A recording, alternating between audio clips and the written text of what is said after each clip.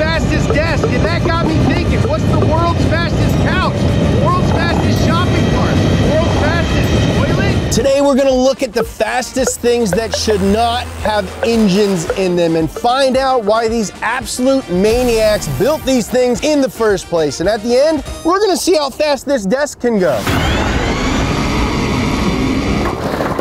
I'm James, he's Noel Miller. Welcome to Donut. Noel, thank you for being here. We started talking about this desk during the pandemic. We did. And it's finally here, and I've heard it's fast as I can't wait to drive it. All right, so we're gonna watch a bunch of videos of things that have engines in them that probably shouldn't have engines in them, and we're gonna decide if it's cool or if it was a big waste of time. And every journey of a thousand miles starts with the first clip.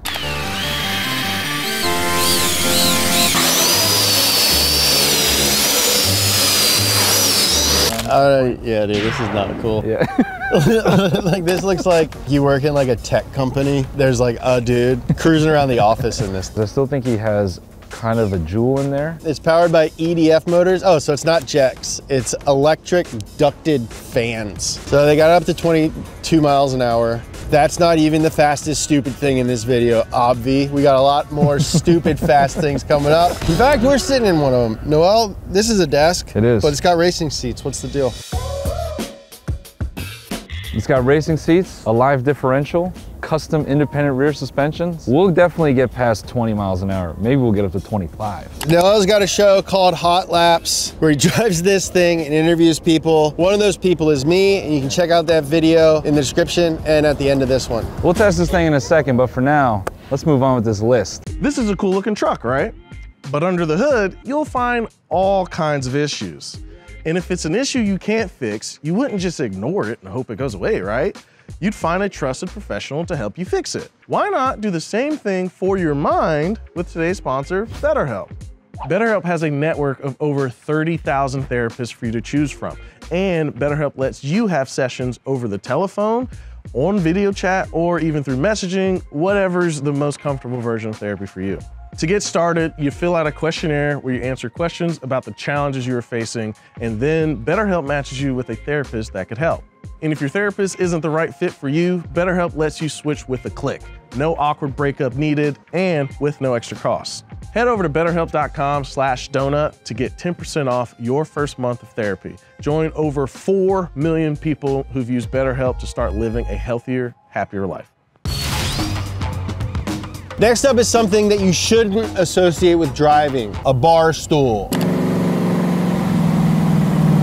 Bro, this is a lie. Yeah, this isn't a bar stool. This, This is, is a lawnmower. fake dude. out. I feel like the rule should be if you're gonna put an engine in a thing and claim like, oh, I have a motor powered bar stool, It needs to be in. self-contained. Yeah, it'd be really sick if it was like all wood and it just had side skirts and it's some like insane engine contained in it. Dude, you're like in the scene now. Like every time you see one of these, you're like, beautiful minding. Like, you know what he should have done? this is called the Hossfly V8 bar stool. This company takes Chevy small and big block V8s and attaches them to Barstool chassis. The biggest one you can order is a 606 cubic inch big block that makes 727 horsepower. Okay, you know what? This thing's sick. Yeah. this is about as cool as it gets, dude. This thing rules. And another motorized Barstool news. An Ohio man crashed his homemade motorized Barstool after trying to do a U-turn too fast. I've done that. he got a DUI, which I haven't done, after telling the cops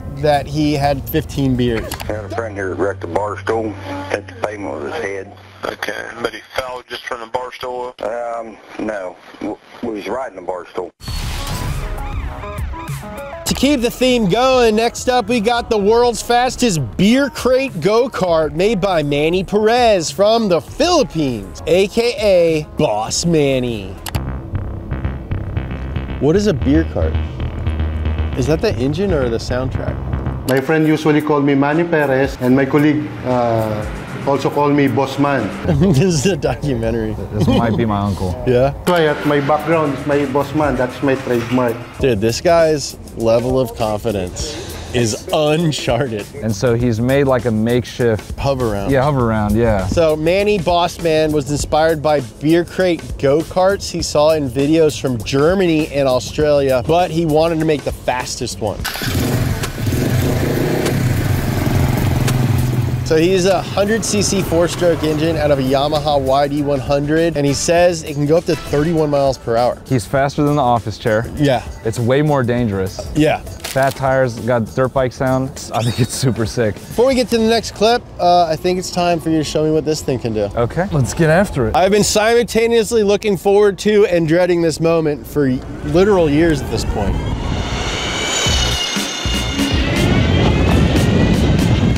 What can you tell us about this desk? I can tell you that it's electric. It was a lot of work to get it to this point. When I took it around my first test, what I was noticing was when I would corner, it was doing the go-kart thing where it was lifting the inside wheel. And what that was doing was you could hear the John Deere mechanism like screaming. We had to get independent rear axles. We had to put a live differential in. So now we can corner for real and keep all four tires on the ground.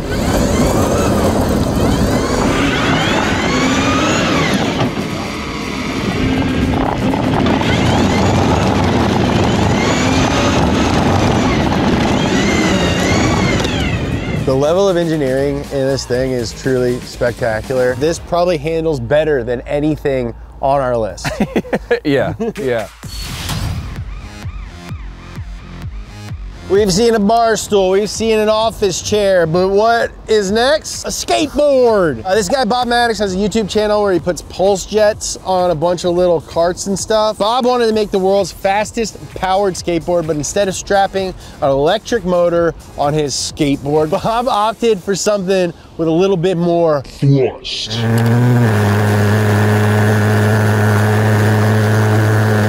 Oh, okay, just right off the bat. Finally, the first guy who looks like an inventor. Yeah.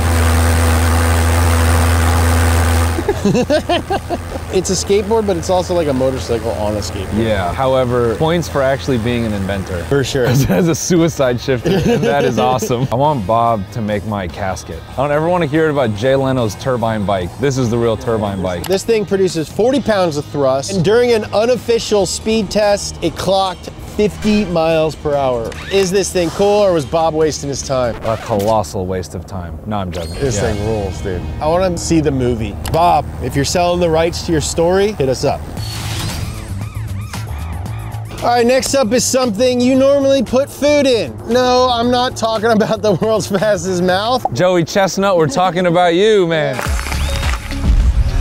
I'm talking about the world's fastest motorized shopping cart, AKA the Shopper Chopper. Big toys need big trailers. Oh my God. Oh, what a sick way to kill your family. Imagine your sister brings her boyfriend home for like Thanksgiving, and he's like, "What do you do?" He's like, "I drive people around cities in a giant shopping cart." All right, so the Shopper Chopper is 10 feet tall. It weighs 2,600 pounds, and in the state of Illinois, it is street legal. Can reach 80 miles per hour, which is kind of sick. that is sick. I'll give it Yeah, that. but that's not even the fastest shopping cart on this list. That goes to a cart made by our friends at Grindhard Plum Co. You might know them from our video where we use a Wish.com supercharger on our Volkswagen Cabrio. I'll put a link to that in the description. Grindhard makes a ton of crazy stuff. They took a 900cc sport bike engine and transmission and slapped it in a custom-made shopping cart chassis. Spoiler alert, thing freaking rips!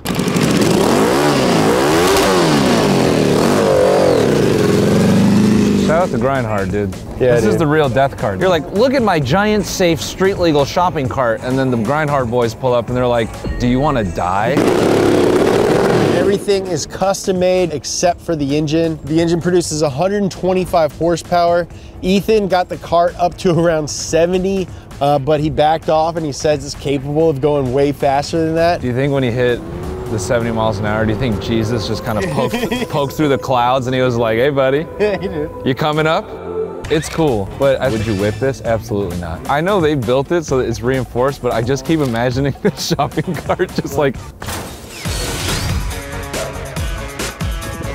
All right, so if you're going 80 miles per hour in a shopping cart that sits a quarter of an inch off the ground, the next place you'll probably have to go is the toilet. Noel said that he would only do the video if there was a toilet involved.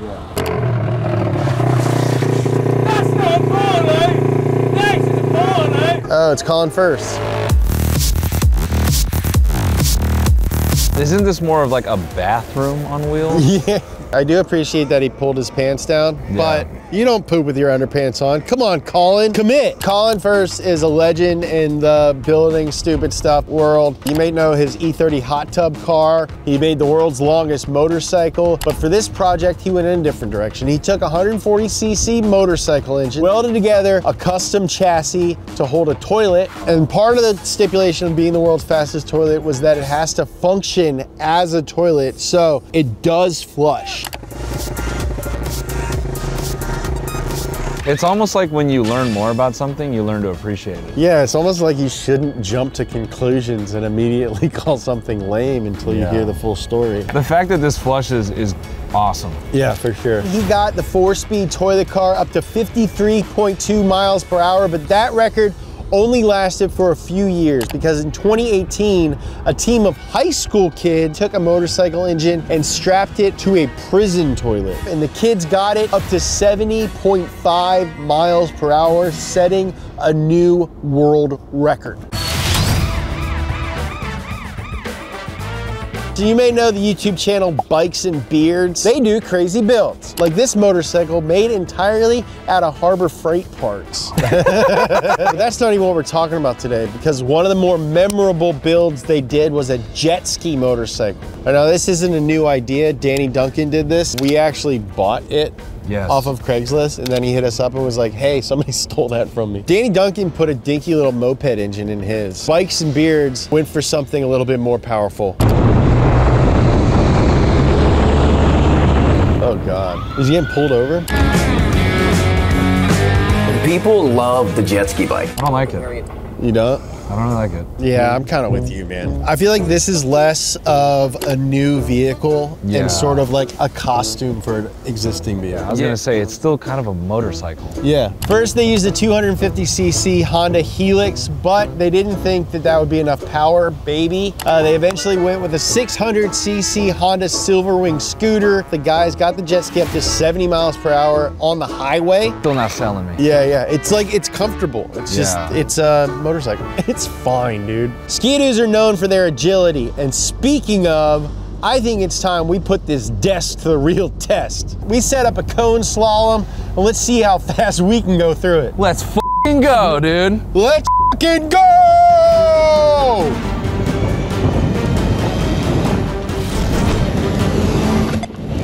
There goes one. there goes two. All right. That didn't feel like the greatest run. I feel like I could do better. Got some heat in the tires. Let's do it. Yeah, let's do it. Three, two, one, go.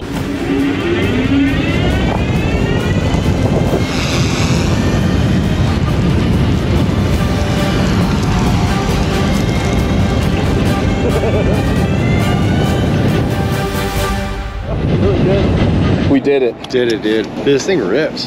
yeah, thanks. It's time to talk about one of the godfathers of things that shouldn't be cars, Ed China. The project that made him famous was a motorized sofa that he named the Casual Lofa, which is a very British name for a motorized sofa. Oh yeah. So this is kind of like the OG, real recognize real. Yeah. This is uh, made out of two subframes from Mini Coopers. It's got a 1300cc four cylinder from a Mini that makes 65 horsepower. Throttle is a push lever controlled by the driver's knee. And then the steering wheel that is a pizza. He's a true pioneer in the field. Yeah. Ed got this thing up to 87 miles per hour and was awarded a Guinness World Record for it, which has since been broken by a couch that went 101 miles per hour. We're just getting crazy. How fast can they go? Don't worry. Someone tells me this isn't the last time we're gonna see Ed China on this list. I wish that I had the next vehicle on this list so that I could work 24 hours a day because I got that grind set mindset. I'm talking about the world's fastest office, and if you're wondering who built it, it's our old friend Ed China again.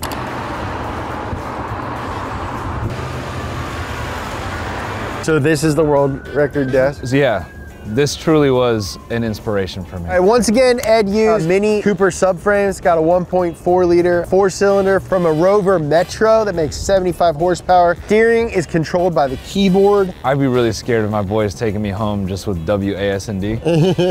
I don't know, dude. This guy's the OG. Uh, he, he rules. He's the Carroll Shelby of office furniture. Broke the record for world's fastest office, clocking in at 87 miles per hour. I think this thing is cool. Respect where respect is due. You gotta honor your elders. Yeah.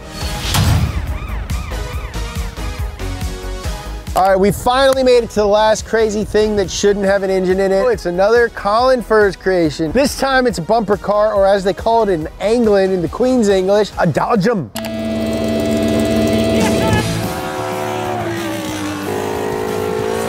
I like it so far. Self-contained. Self-contained. There's not a bunch of stuff hanging off of it. We got Stinky Boy. We got the We got Stig. the Stig. Thing sounds sick. Sounds insane.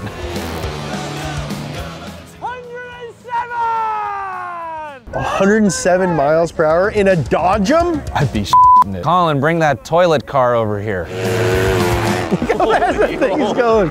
So 600cc four-cylinder engine from a sport bike, 100 horsepower. So then the Stig drove it on top gear to set the world record. 100.3 miles per hour. So what do we think about this? I like it. We're talking about a type of casket. Bury me in a Dodgem. And that brings us to this thing that we're sitting in. It is time to set the world record for world's fastest talk show desk. Are you guys ready? Yeah. All right. Three, two, one, go.